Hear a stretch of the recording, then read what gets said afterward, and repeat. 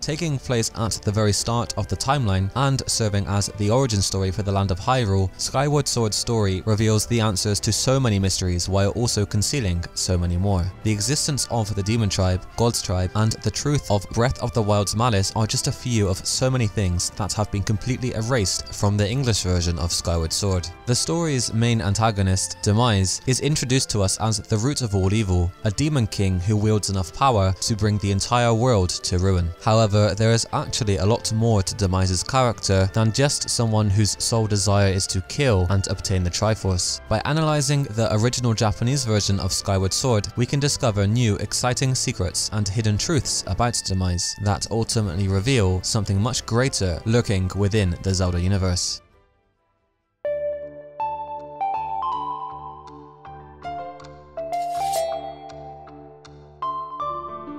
Skyward Sword's story begins by telling a forgotten tale of the ancient past where demons emerged from a crack on the world's surface. Demonic hordes launched a brutal assault on the land, obliterating everything. We learn that this assault was led by none other than the merciless Demise, a demon king who killed without hesitation and sought to rule the land and ultimately claim the Triforce for himself.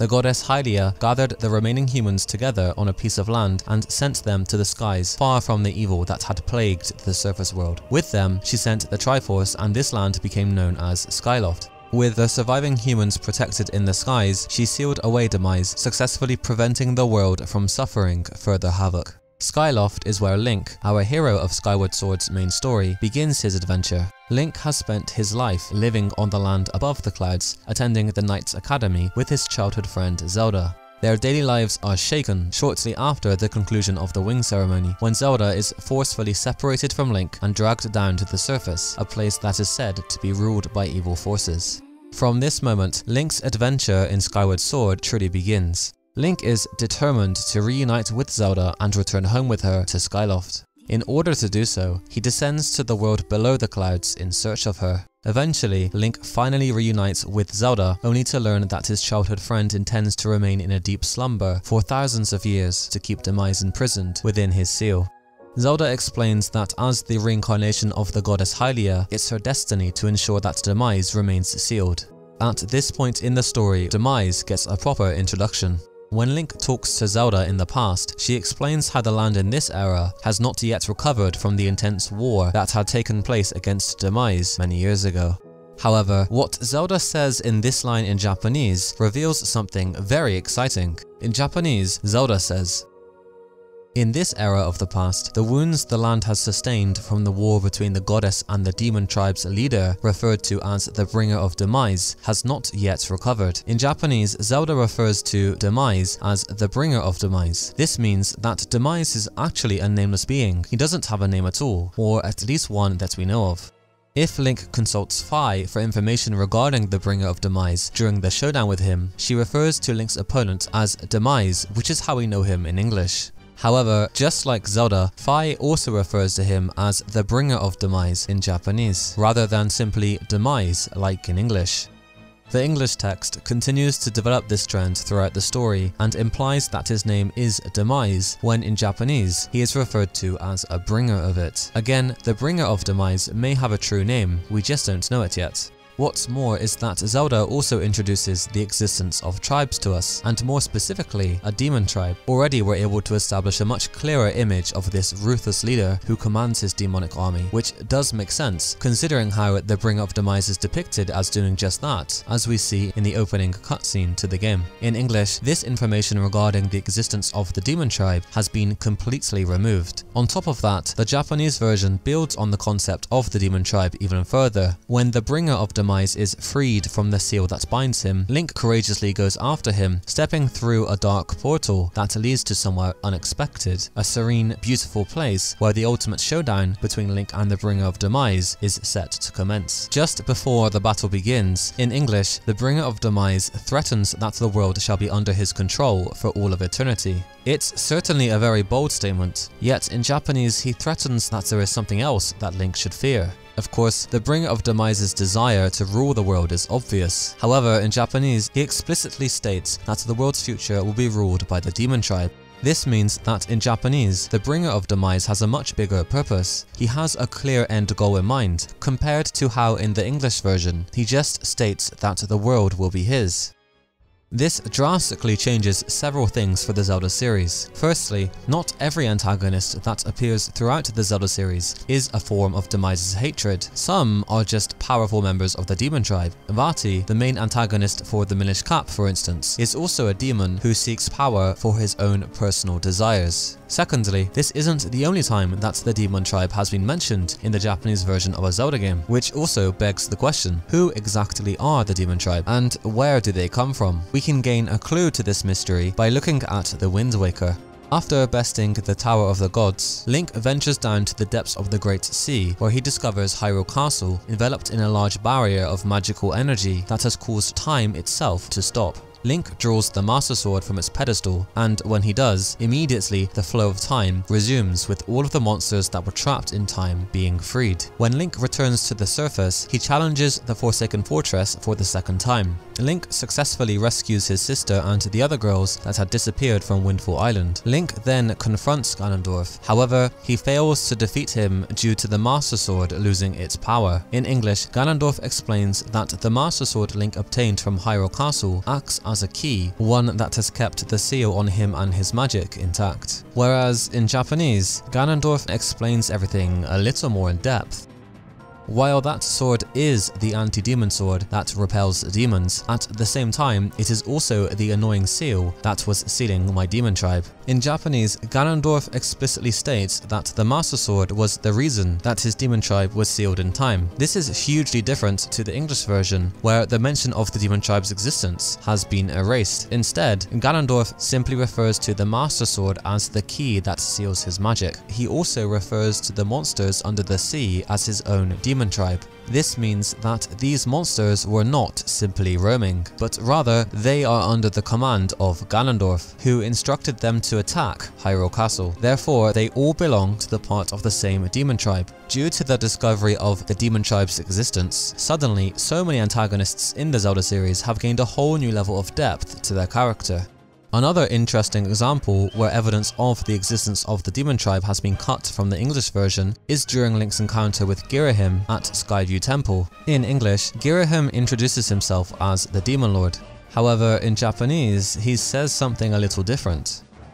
I am Ghirahim, the current demon tribe chief of this world that you call the surface. Ghirahim refers to himself as the actual chief of the demon tribe in Japanese. He claims he is the current ultimate overseer of the demonic race. Calling himself the current chief of the demon tribe is an interesting foreshadow of the new incarnation of the Demon King, Demise. It seems that Nintendo has made an effort to erase every bit of evidence of a demon tribe existing from the English text in the Zelda series. What's more is that Ghirahim even uses an ability that's associated with the members of the demon tribe. Towards the end of the game, Link faces a horde of monsters head-on to prevent Ghirahim's plans to sacrifice Zelda and revive the Bringer of Demise. After reaching Ghirahim, Link is challenged to a final battle with him. During his speech just before this battle takes place, Ghirahim emphasizes how he's prepared a humiliating death for our hero. He's even named it as the Endless Plunge. In my opinion, the Endless Plunge does not do the true Japanese name of his ability justice. Here's what he actually says. I'll let you taste our demon tribe's ultimate execution art, the infinite Naraku. Straight away we can see that this line of Ghirahim's dialogue is strikingly different to what we were given in English. Ghirahim refers to the ability as the infinite Naraku, which is a term in Buddhist cosmology that essentially describes a realm of hell. The kind of things that take place in Naraku can be described as a succession of brutal torments in which a person experiences the results of his karma or actions. The person must endure the suffering for hundreds and hundreds of millions of years until their karma has been cleansed, after which they are reborn in one of the other 16 higher worlds to repeat the same process. This also explains why the final battle between Link and Ghirahim plays out the way it does. Ghirahim attempts to discharge the Demon Tribe's ultimate execution art, Naraku, onto Link, with each platform descent representing how the wrongdoers would fall deeper into the worlds of Naraku while enduring intense punishment over and over again. Granted, this would have been quite a lot to cover in Skyward Sword, which could explain why the translators chose to simply have Ghirahim say plunge in English. However, there is just so much depth that's lost in translation. In fact, this whole line is an interesting throwback to when Link encounters Ghirahim in the Fire Sanctuary, where in Japanese he says, I did say I'd give you a living hell a while ago, but may I retract that statement? Whereas in English, the foreshadowing of him giving Link a living hell has been completely removed. Instead, Ghirahim talks about making Link's ears bleed, which is perhaps a little on the nicer side, compared to being tormented and dying over and over again. Let's talk about the demon tribe's origins. Where do they come from? They have to originate from somewhere. It's not like they just appeared randomly, right? This is also briefly explained within the Japanese version of Skyward Sword, whereas the English version once again omits it. The moment that the Bringer of Demise is successfully resurrected, in English, he taunts Link by saying, If you truly desire to raise your blade against the world I would build, come for me. In English, the Bringer of Demise states that he is going to create a new world and should Link wish to challenge him, he should come and do so. However, in Japanese, he is much more specific.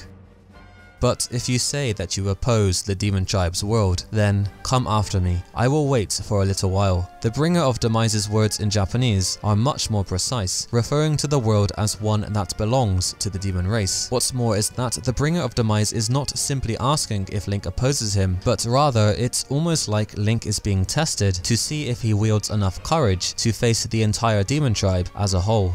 Surprisingly, this isn't the first time that the existence of a demon world has been introduced into the Zelda series either. In Ocarina of Time, we learn that the resting place of the Triforce, the Sacred Realm, is a mirror that reflects one's heart. In English, we learn that if a being with an evil heart enters, the realm will become corrupt, whereas if a being with a pure heart enters, the realm will become a paradise. On the other hand, in Japanese, the concept of the Sacred Realm is described a touch differently.